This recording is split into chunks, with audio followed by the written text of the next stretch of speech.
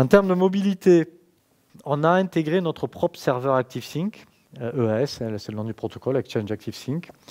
Euh, ça, concrètement, ça veut dire quoi? Ça veut dire qu'on supporte nativement tout ce qui est iPhone, iPad, Android et BlackBerry à partir de 10.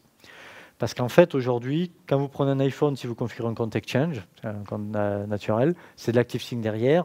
Android, si vous configurez un compte entreprise ou Exchange selon les modèles, derrière c'est de l'ActiveSync. BlackBerry 10, à partir du 10, c'est de l'ActiveSync. L'iPad, c'est de l'ActiveSync, etc.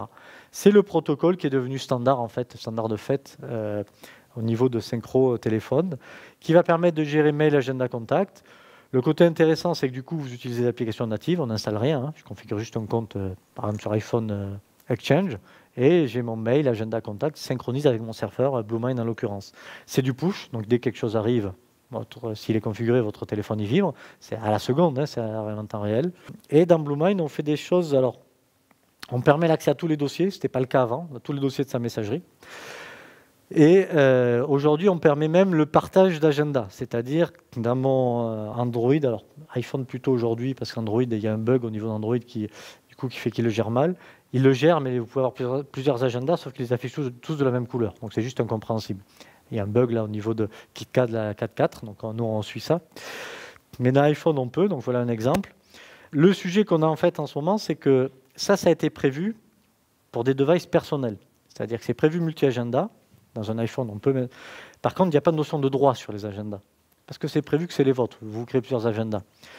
Nous, on permet ça. Et donc, on a le cas où, euh, mais si je vous donne un agenda, mon agenda accessible uniquement en lecture, et que vous souhaitez la, rajouter dans votre iPhone, du coup, vous allez le voir.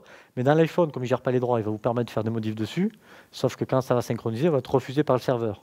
Et comme l'iPhone n'est pas prévu pour gérer ces cas-là, lui, il ne gère pas le retour, ça échoue, etc. Et donc, vous allez avoir un affichage qui peut être différent hein, sur le téléphone que sur le serveur. Bon, là, notre choix, c'est est-ce qu'on laisse cette fonctionnalité, sachant qu'on va plus loin que ce qui est normalement prévu par les téléphones, mais qui a quand même un intérêt, parce que ça vous permet, moi, d'afficher l'agenda de mes collègues sur mon téléphone, en connaissance de cause de cette contrainte, euh, ou est-ce qu'on la supprime? Donc c'est les questions qu'on a, ou alors est-ce qu'on la limite que sur euh, euh, ceux qui ont délégué avec les droits d'écriture compris?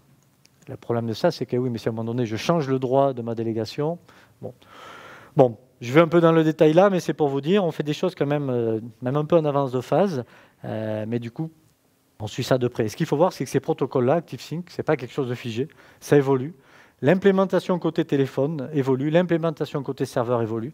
Donc, c'est pas euh, oui, il y a ça, donc ça fait tout. c'est vraiment des choses euh, mouvantes. Là, encore une fois, quand on vous dit que les solutions aujourd'hui bougent, par exemple, nous, on est en train de travailler sur ce qu'on appelle le wipeout. C'est pour répondre au scénario, mais voilà, mon directeur ou n'importe qui s'est fait voler son téléphone. En fait, à un clic, l'administrateur, il peut effacer son téléphone à distance par le serveur.